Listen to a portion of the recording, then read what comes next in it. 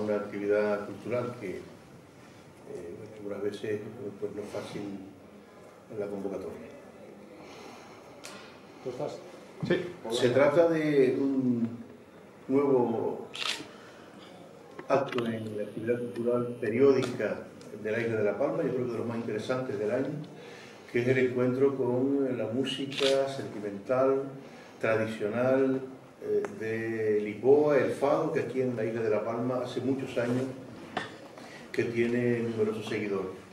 Es una cantante, en este caso Carmiño, que está en el panorama internacional de las primeras del mundo y que eh, bueno, habrá pocas ocasiones más de ese encuentro de los aficionados al fado en la isla de La Palma con eh, el, personaje que en definitiva el día 18 de este mes de mayo en el Teatro Circo de Marte nos va a deleitar con esa canción eh, melancólica pero muy popular de sentimientos de los barrios pobres de Lisboa pero yo digo que ha arraigado en los gustos musicales de todo el país, de todo el mundo, y que bueno, la Isla de la Palma, digo, desde el principio se ha incorporado a estos circuitos, que en este caso, en concreto, la productora que hoy eh, bueno, trabaja con nosotros en la presentación de este festival de Fado de Carmiño, eh, hace, hace bastantes años,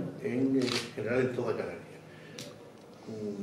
eh, Carmiño es una cantante en el mundo del fado que ahora mismo se considera la primera del mundo, ya le explicará mejor de su personalidad artística eh, Javier Jiménez, el representante de la productora Folel, pero que en definitiva yo quería transmitirle simplemente desde el Cabildo de La Palma eh, pues ese deseo de que compartan con nosotros el día 18 de mayo en el Teatro Circo de Marte uno de los acontecimientos musicales más importantes del año en la Isla de la Paz. Javier Jiménez, el conductor. Pero la romántica esa que tiene. No, no No. ¿Tú vas a hacer? Gracias por venir. Déjame salir un segundo, por favor. Perdona, Héctor, voy a salir un momento ya.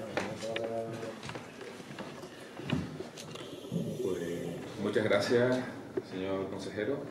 Gracias a, todos los compañeros, las compañeras periodistas, a los medios por, por la presencia, por asistir a, a, la presentación del concierto de Carmiño, que será el que precisamente clausure eh, esta nueva edición del Festival de Fado de Canarias.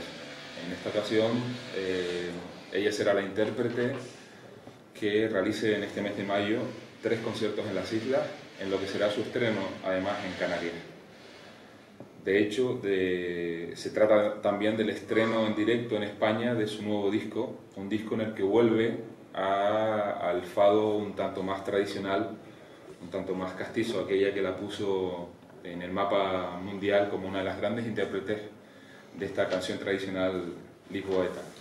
El fado es una música declarada por la UNESCO Patrimonio Cultural e Inmaterial de la Humanidad y ella es una de las grandes portavoces a nivel mundial de este género musical urbano, nacido en los barrios eh, típicos y tradicionales de la ciudad de Lisboa, es la canción de Lisboa como, como bien es conocida, y Carmiño es sin duda uno de sus grandes exponentes. Es un lujo, nosotros soñábamos desde la organización del festival poder contar con ella en, el marco de, de este ciclo anual de conciertos y otras actividades circundantes en torno al mundo del fado en las islas.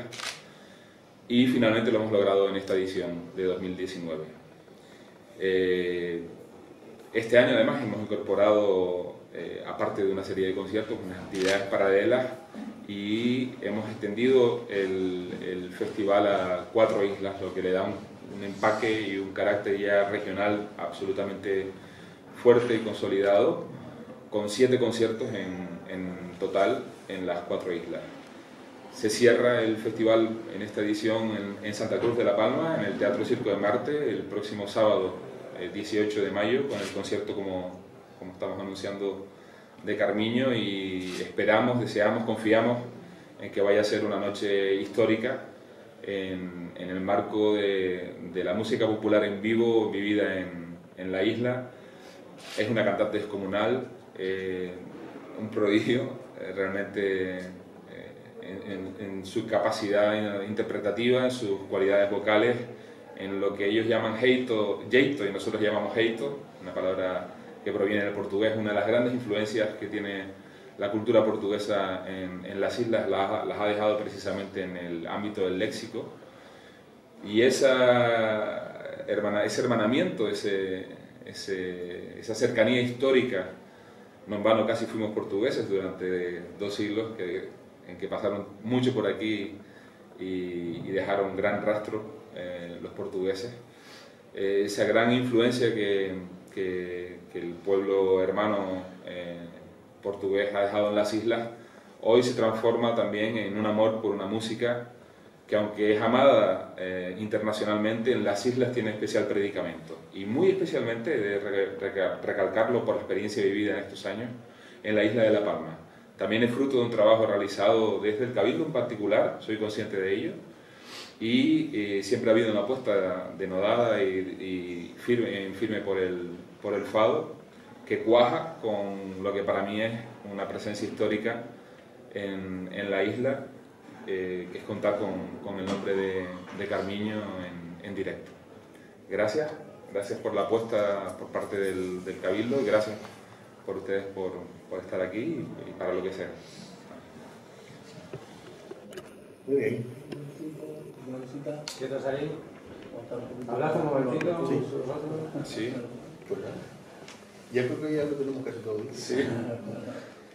Entonces, sí. en, por internet, ¿ya cuándo empiezan a partir de, de hoy? Sí, www.fadocanarias.es también pueden encontrar información al respecto y en los propios canales de difusión del Cabildo de La Palma. ¿Y qué es la que tenía, la, la que se incorporó a Lanzarote? Lanzarote se incorporó este año por, por vez primera.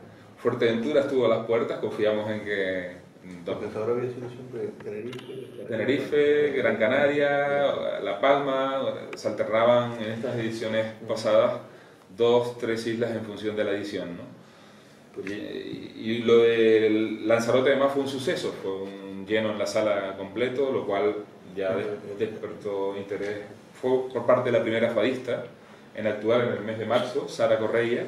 En abril, eh, Sara Correia actuó en, en dos islas, eh, Teresina Landeiro, una joven también fadista muy consolidada en, dentro del nuevo fado portugués, eh, actuó en, en, abril y en mayo... No, no llegó a ser allí, fue en, en el almacén, en el centro de Es pequeñito, pero era una apuesta también por, por abrir... Eh, en la salud de abrir el... Sí, era el concepto de fado que se hacía en la salud. Sí, sí, sí, sí, sí, bueno.